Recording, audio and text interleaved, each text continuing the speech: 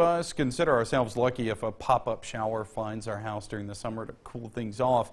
However, they've been rare across the Twin States. July 4th is known for its fireworks, but the dry ground could spell trouble. WCBI's Victoria Bailey joins us live in the studio to talk about that danger. Victoria?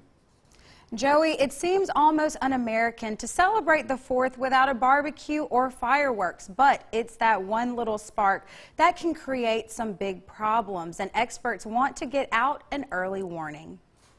Well, it's that time of year again. Families come out to spend time together and celebrate Independence Day.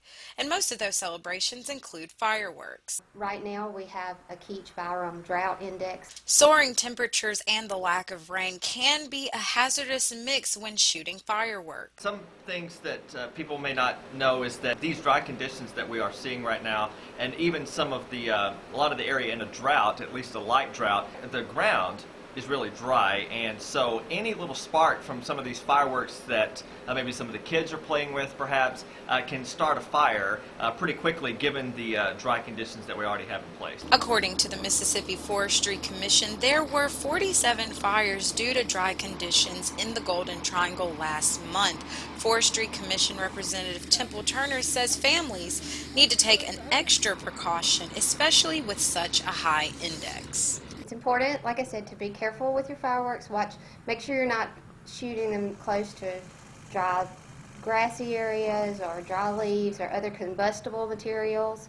Um, soak the area down before you do it. And though temperatures continue to rise, meteorologist Williams says weather concerns for this weekend could be a lot worse. The good news this weekend, it's not supposed to be overly windy because when we see dry weather plus the windy conditions, that is really a good recipe for fire spreading. Usually wildfire peaks in the fall and Mississippi has experienced 2,189 wildfires for the year, scorching 33,000 acres of land. So it is very important to stay cautious during these dry conditions. Joey?